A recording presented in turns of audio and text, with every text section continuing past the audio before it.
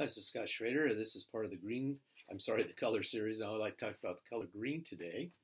Um, the color green, the word for green is yerek, and uh, it, it means green or green plants. Uh, you see it used in Genesis, talking about every green plant or herb that uh, man could eat. Uh, you see it often in the Old Testament used um, for a green tree.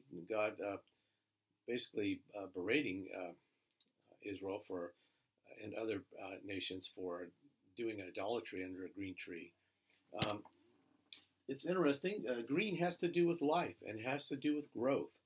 Uh, when we see a green plant, to us that means that it's uh, doing well and that it's growing and, and there's life in it. And uh, the root of green is the word yare. Yare means, uh, interestingly enough, fear, reverence, and awe. So how, how will we connect these things together? Well, God is the author of life.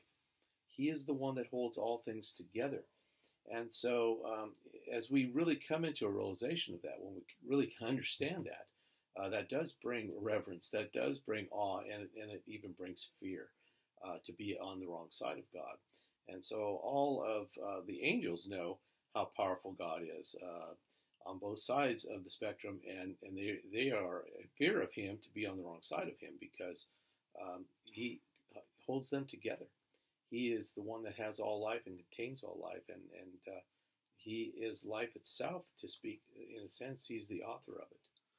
Um, we see that in Revelation four, Revelation chapter four, we see that there is like a light circle around the throne of God, and um, yeah, some people call it like a rainbow, but it's really like a light circle, uh, and and it's uh, has this green color. That it's the color of an emerald, um, and so this denotes God's life, God's um, and His uh, sovereignty, His reverence and fear uh, that, that, comes, uh, and everything is alive uh, in God's presence. His throne is alive. His throne speaks. Everything is alive around Him, and it shows the power uh, of the amount of life in God.